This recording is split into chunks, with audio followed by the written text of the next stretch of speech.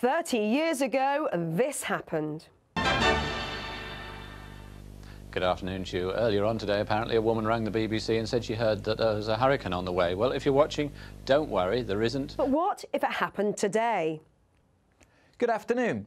Earlier today, at Cycling Sue tweeted us here at the Met Office and said she'd heard there was a hurricane on the way.